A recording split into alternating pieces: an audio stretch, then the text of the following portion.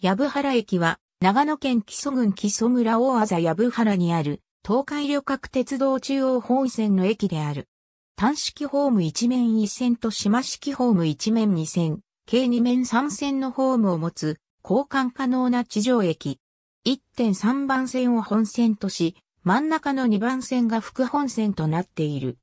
2010年3月改正ダイヤでは、大ヒュームに関係なく2番線に入線する列車も設定されている。基礎福島駅管理の簡易宅駅である。留置線、古線橋を有する。駅舎は開業当時からの木造。長野県統計所によると、1日平均の乗車人員は以下の通りである。中山道藪原宿を元としたエリアで当駅は市街地及び旧宿場町の南端に位置する。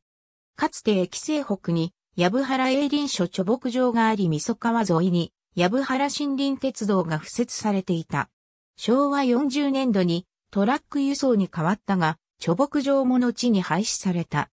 当駅にはかつて松本電鉄バスや御嶽交通の路線バスが乗り入れていたが、松本電鉄は1984年までに撤退し、御嶽交通の路線は2006年4月に木曽村地域振興バスの路線へ移管された。